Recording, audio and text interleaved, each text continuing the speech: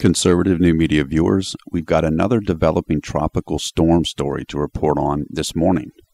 A weather event which started out as Tropical Depression 12 and now has developed into Tropical Storm Katia is expected to become Hurricane Katia by this Thursday, September 1st, at the latest.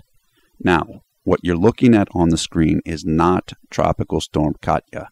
There is no available image of Katia that we were permitted to use at this time.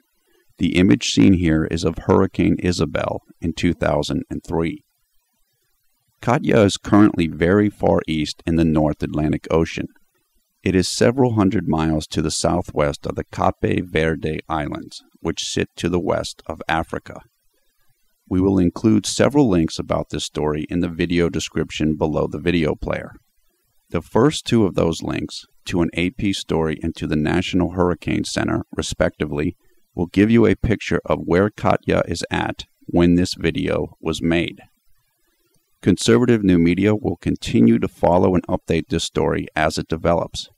We will include updates in the video description as the story unfolds, and we will make follow up videos on the subject if necessary.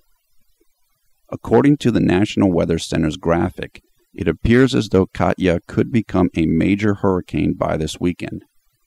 A major hurricane is classified as one in which there are sustained winds of greater than 110 miles per hour. Such a hurricane is labeled a Category 3 or above storm on the Saffir Simpson hurricane scale. We will include a link to that scale in the video description. A report from ABC 25 in West Palm Beach, Florida says that it is possible that Katia could threaten the Caribbean, but it is not known at this time whether or not the storm may strike the United States mainland. Reporting for Conservative New Media, this is Paul F. Villarreal.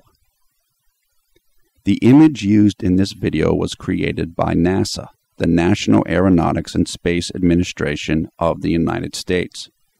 Neither NASA nor the NASA employee who created this image, Jacques de Declatre, endorsed this video. Neither do NASA or Mr. de Declatre endorse Conservative New Media or Conservative New Media's current sponsor, Aerogolf. And now a word about our sponsor. This video and all conservative new media YouTube videos for the month of August 2011 are sponsored by Aero Golf. Aero Golf is paying John D. Villarreal, my brother and the owner of Conservative New Media, for this sponsorship and promotional consideration. Aero Golf is also paying John D. Villarreal for videos we create about Aero Golf and their products. However, all such sponsored videos are owned by John D. Villarreal. Additionally, conservative new media possesses complete editorial control of all of the sponsored videos. Aero Golf gave John D. Villarreal a free Aero Caddy. Cedar Joiner of Aero Golf is my cousin. All opinions are solely my own and are my own honest opinions. Let me tell you this, CNM viewers. If you or someone you know is a golfer or just a fan of outdoor sports, I think you should check out our videos with Aero Golf. I think the videos are pretty cool and compelling. Now, I'm not the world's biggest golfer, but in my opinion, and after having checked out the aerogolf.net website and having watched Aero Golf's The Aero Caddy YouTube video, I have to say that I feel Aero Golf's product looks pretty good. And at just $20, the Aero Caddy could be just the kind of inexpensive find you've been seeking for yourself or for the sports fan in your life.